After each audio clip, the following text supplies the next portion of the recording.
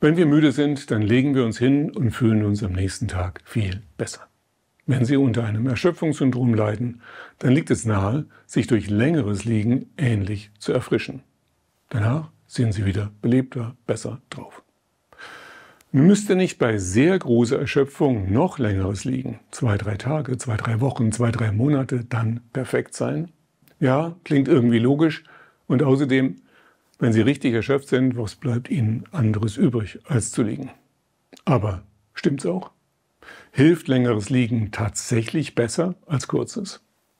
Warten wir es ab. Wir wollen uns im Folgenden anschauen, was anhaltende Bettruhe, längeres Liegen für Konsequenzen hat. Schauen wir uns zunächst die Studienlage an. Was ist bekannt? Wir haben das Glück, dass diese Frage des Langzeitliegens durch Studien mittlerweile sehr gut belegt ist. Der Grund liegt in der Raumfahrt. Das hört sich auf den ersten Blick erstmal überraschend an. Ein kuscheliges Bett ist wohl das Letzte, was Astronauten brauchen. Und außerdem sollten sie doch möglichst viel bewegen. Astronauten müssen täglich mehrere Stunden lang Sport betreiben und dennoch, im Grunde genommen, liegen sie immer. Denn ohne Gravitation befinden sich in einem Zustand ähnlich wie im Wasser, in einem Zustand, der an das Liegen erinnert. Im Grunde liegen also Astronauten selbst dann, wenn sie aufrecht stehen oder Sport machen. Im Weltraum und im Liegen tritt nämlich eine starke Kraft nicht oder weniger auf, die dauernd auf uns wirkt und gegen die wir ständig Arbeit leisten müssen. Es ist die Anziehungskraft der Erde, die Schwerkraft. Es ist eine Beschleunigungskraft, die sie nicht nur in den Boden fesselt, sondern die ist richtig anstrengend. Das ist eine Sportart, auch wenn sie nicht als solche wahrgenommen wird. Dauerliegen wird als Simulation für den Raumflug genutzt. Meist wird das Bett noch ein klein bisschen nach hinten gekippt. Das ist besonders gemein. Solche Langzeit-Liegeexperimente werden an sportlichen, gesunden jungen Männern gemacht. Sie müssen dann nichts weiter tun als liegen, liegen, liegen. Ziemlich langweilig. Aber so kann gemessen werden, wie sich der Körper allein durch die geringere Schwerkraft verändert. Man spricht von Mikrogravitation. Ein bisschen Gravitation ist ja noch vorhanden. Das Gute, wir können so isoliert sehen, was es bedeutet, von der Arbeit gegen die Schwerkraft entlastet zu werden. So, und jetzt wollen wir uns einige Ergebnisse dieser sogenannten Bad Rest Studien anschauen. Wir beginnen mit einer Übersichtsstudie zur kardiovaskulären Leistungsfähigkeit gemessen am VO2 Max. Das ist die Sauerstoffmenge, die Sie pro Kilogramm Körpergewicht maximal aufnehmen können. Sie hängt im Wesentlichen vom Trainingszustand, das heißt der Masse der Muskeln ab. Je höher, desto besser. Ein durchschnittlicher junger Mann hat so um die 40 VO2 Max und bis zum Rentenalter geht das auf 30 zurück. Frauen ein bisschen weniger, ungefähr 8 Punkte. Was macht nun das Dauerliegen? Die Sauerstoffaufnahme geht dabei Tag für Tag um 0,4 Prozent zurück. 0,4 Prozent hm, hört sich gar nicht so schlimm an, aber da sind Sie in 20 Tagen schon 10 Jahre älter geworden, wenn Sie sich die Normwerte ansehen. In einer anderen Studie folgt die Abnahme der Fitness der gleichen Formel. 16 Prozent. Da würde mal kurz in sechs Wochen aus einem 20-Jährigen ein 50-Jähriger. 30 Jahre älter in sechs Wochen. Und noch schlimmer sah es mit der Gesamtmenge der Mitochondrien, das sind die Kraftwerke der Zellen aus, die waren nach sechs Wochen um 28 Prozent reduziert. Kommen wir jetzt zum Kreislauf. Sie wissen vielleicht, dass viele Patienten, die lange liegen müssen, auch unter einer posturalen Tachykardie, kurz POTS, leiden. Da schießt der Puls im Stehen nach oben, da wird das Stehen vermieden. Wenn Sie nicht stehen müssen, weil Sie die ganze Zeit liegen, dann nimmt diese orthostatische Toleranz ab nach längerem Liegen entwickeln sie so POTS. In einer anderen Studie der Europäischen Weltraumorganisation mussten gesunde Probanden 60 Tage liegen. Neben dem üblichen Muskelverlust wurde eine sogenannte Insulinresistenz begünstigt. Das heißt, die Stoffwechsellage bewegt sich in Richtung Diabetes und außerdem stiegen die Fette an. Was passiert mit dem Gleichgewicht? Nun, überraschenderweise, auch das wird schlechter und zwar offenbar unabhängig vom Muskelabbau. Das kennen viele Menschen, die nur kurz gelegen haben. Sie bekommen Schwindel, wenn sie wieder aufstehen. Wie sieht es jetzt mit der geistigen Leistungsfähigkeit aus? Die Teilnehmer konnten reden, lesen, Medien konsumieren. Da sollte doch eigentlich nichts passieren. Tut es aber. Die kognitiven Fähigkeiten wurden schlechter und die Stimmung ebenfalls. Denken Sie daran, diese jungen Männer wurden fürs Liegen bezahlt. Sie taten es freiwillig. Stellen Sie vor, Sie werden aus Krankheitsgründen gezwungen, so zu liegen, da dürften die emotionalen Auswirkungen ungleich schlimmer sein.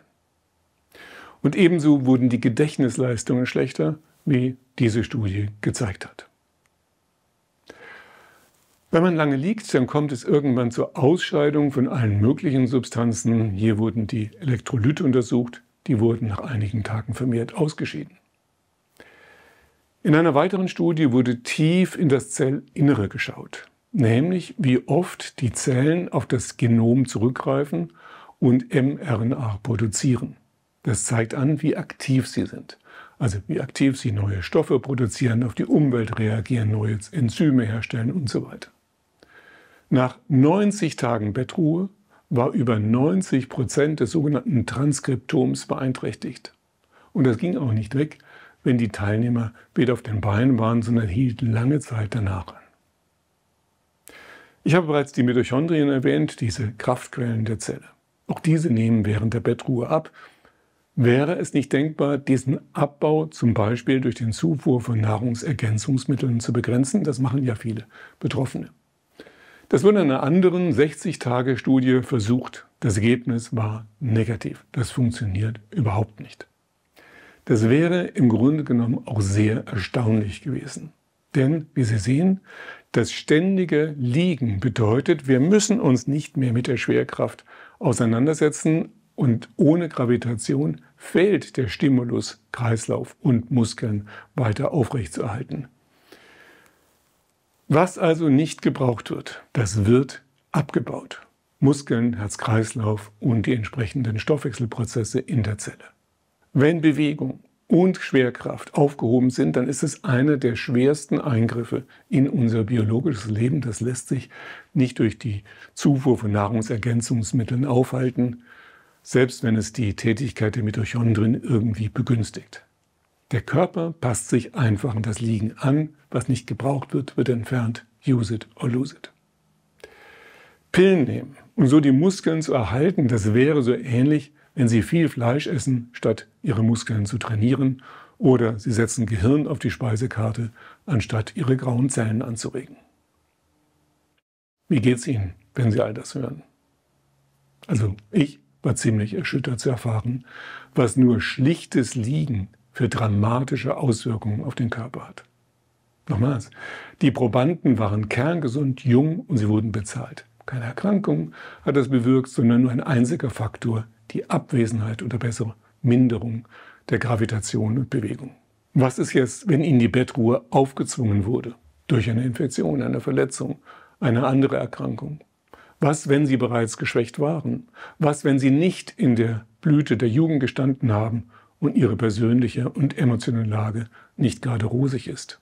Sie ahnen, der Verlauf ist dann noch schneller, umfassender, noch zerstörerischer. Und jetzt werden Sie sich vielleicht fragen, ja, was eigentlich? Ich bin doch gelegen, weil ich mich erschöpft gefühlt habe, weil ich viel zu schwach war, um aufzustehen, ich es aber nicht geschafft habe. Und jetzt sehe ich, dass ausgerechnet die Therapie, das Ausruhen, ziemlich genau zu dem Krankheitsbild führt, das ich eigentlich damit behandeln wollte. Ja, das stimmt.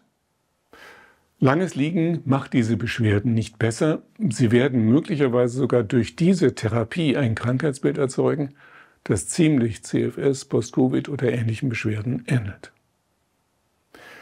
Ist dann, könnte man fragen, vielleicht der Großteil der Symptomatik, unter denen erschöpfte Patienten auf die Dauer leiden, einfach Folge des Liegens? Ist das einfach nur Nebenwirkung einer ungeeigneten Therapie? Ich glaube, diese Frage lässt sich so einfach nicht beantworten. Eigentlich spielt es auch gar keine Rolle. Festzuhalten ist, dass nach Wochen oder spätestens monatelangem Liegen ein Zustand vorliegt, in dem sich die Bettruhe, der Abbau und die daraus entstandenen Symptome von der ursprünglichen Symptomatik kaum noch unterscheiden lassen. Ein Teufelskreis ist entstanden, der sich selbst aufrechterhält. Wir wollen jetzt noch ein bisschen auf die Zeiten schauen. Wie schnell geht das Ganze einfach? Wie schnell geht der Abbau und der Aufbau? Wenn ein Gesunder eine Woche lang liegt, können Sie mit einem Muskelverlust von einem halben bis anderthalb Prozent rechnen. Dabei ist der Abbau am Anfang schneller, dann wird er langsamer. Nach drei Monaten sind bis 25 Prozent der Muskeln weg und noch länger können das 50 Prozent sein. Dazu kommen noch die ganzen weiteren traurigen Tatsachen, über die wir vorher gesprochen haben. Doch wie sieht es mit dem Aufbau aus? Sehr viel langsamer. Unter optimalen Bedingungen können junge Gesunde in einem Monat rund 1% der Muskeln wieder aufbauen. Für jede Woche liegen benötigen Sie also Faustregel einen Monat Training. Aber das gilt nur für den Anfang, dann wird das Wachstum flacher. Doch was ist, wenn Sie älter, geschwächter oder krank sind? Jetzt geht es noch mühsamer. Für einen Zuwachs von einem Prozent müssen Sie zwischen zwei und vier Monaten im Fitnessstudio schwitzen. Das Verhältnis von Ab- und Aufbau wird ebenso ungünstig, wenn Sie zusätzliche Krankheiten haben. Also wenn Sie früher kaum Sport gemacht haben und natürlich hängt es davon ab, wie Sie trainieren. Denn bisher sind wir davon ausgegangen, Sie stehen aus dem Bett auf und melden sich im Fitnessstudio an. Wenn Sie aber nach minimaler Anstrengung bereits in eine Belastungsreaktion kommen, dann sind die Trainingsfortschritte natürlich viel, viel geringer, weil Sie gar nicht trainieren können. Daher, es muss das erste Ziel sein, den Abbau aufzuhalten. Mehr ist am Anfang in der Regel nicht möglich. Das kann durch passive Bewegung geschehen, durch Lagewechselübungen, minimale Bewegungen im Bett, kleinste Übungen, die manchmal nur wenige Sekunden durchgeführt werden können und dann lange Pausen. Gepaart sollte eine Atemkontrolle sein, um nicht ins Hyperventilieren zu kommen und eine zusätzliche innere Beruhigung und Entspannung. Danach beginnt ein super langsamer Aufbau. Kreislaufübungen, Kälte-Wärme-Anwendungen und Übungen eigentlich den ganzen Tag, über den Tag verteilt, aber in extrem kleiner Dosierung. Natürlich wird das zu Reaktionen führen. Sie werden diese Belastung spüren. Das ist wie bei jedem Training unvermeidlich. Klar. Sie dürfen nicht übertreiben, denn bei Übertreibung droht Rückschlag. Aber es gibt eine andere Gefahr, die Überschonung. Wenn Sie jegliche Reaktion des Körpers auf eine Belastung vermeiden wollen, dann ist Ihnen der Abbau praktisch garantiert. Eine große Rolle spielen dabei schlechte Vorerfahrungen mit dem Training und die Angst vor dieser Reaktion. Das ist ganz klar ein äußerst heikles Problem, da zwischen der Überforderung und der Überschonung oft nur ein winziger Bereich, eine ganz, ganz kleine Spanne liegt. Fassen wir zusammen. Ist lange Bettruhe eine geeignete Therapie, um Erschöpfung zu behandeln? Nein, das ist sie nicht. Bettruhe hat unglaublich viele Nebenwirkungen und daher wird sie in der Medizin vermieden, wo immer das möglich ist. Streng genommen müsste Bettruhe wegen der damit verbundenen Risiken verordnungspflichtig sein und nur unter ärztlicher Aufsicht stattfinden. Bedeutet das jetzt zu resignieren? Natürlich nicht. Diese Prozesse sind grundsätzlich reversibel. Sie können das Verlorene zurückgewinnen. Doch jetzt kommt die entscheidende Erkenntnis, das geht nur super langsam. Ja, möglichst noch viel, viel langsamer, als Sie befürchtet haben. Wenn Sie also nach Monaten der Bettruhe mit viel gutem Willen wieder versuchen, auf die Beine zu kommen, werden Sie allein wegen der damit verbundenen Dekonditionierung, das muss nichts mit der Ursprungserkrankung zu tun haben, auf die Nase fliegen. Wenn Sie jetzt auch noch denken, oh, Training scheint es nicht zu bringen, das vertrage ich nicht, dann unterliegen Sie schlicht einem Irrtum. Es ist nur Dekonditionierungsfolge. Es wird auf jeden Fall knirschen, bis Sie wieder in die Gänge kommen. Und diese Anlaufgeräusche dürfen nicht mit Krankheitszeichen verwechselt werden. Auch junge Sportler haben sie das nach langer Trainingspause. Aber das beunruhigt sie nicht, denn sie wissen, das ist normal und wird irgendwann weggehen. Was brauchen Sie also für die lange Zeit der Rehabilitation? Unglaublich viel Geduld, sehr viel Hartnäckigkeit, Klugheit, das Training im schwierigen Korridor zwischen Überlastung und Überschonung zu halten Und schließlich viel innere Ruhe, um die aufkeimende Verzweiflung immer wieder zu befrieden.